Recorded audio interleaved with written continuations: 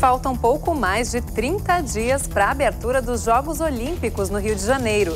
Os atletas são os protagonistas do grande espetáculo esportivo mundial. Mas para que o evento aconteça, muita gente precisa se esforçar também nos bastidores.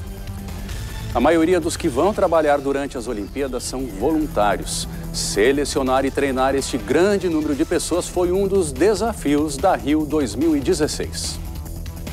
Alguns voluntários já estão trabalhando nos eventos teste que antecedem os Jogos Olímpicos. A procura foi grande por pessoas de diferentes estados e até de fora do país. Também foi assim na Copa do Mundo de 2014. Aproximadamente 14 mil voluntários atuaram em diversas áreas na cidade sede. Cerca de 600 eram gaúchos e trabalharam em Porto Alegre.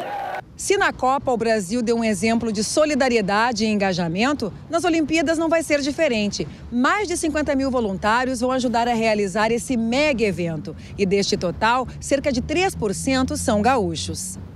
O coordenador de treinamento dos voluntários dos Jogos Olímpicos e Paralímpicos 2016 esteve na capital e falou como é gerenciar essa grande força-tarefa, que recrutou um número muito maior de pessoas do que no Mundial de Futebol. A gestão toda né, da, da, dos Jogos Olímpicos e Paralímpicos é, é, é, é envolve tudo isso: alimentação, segurança, mobilidade do atleta que é totalmente diferente no caso do, do, da Copa do Mundo.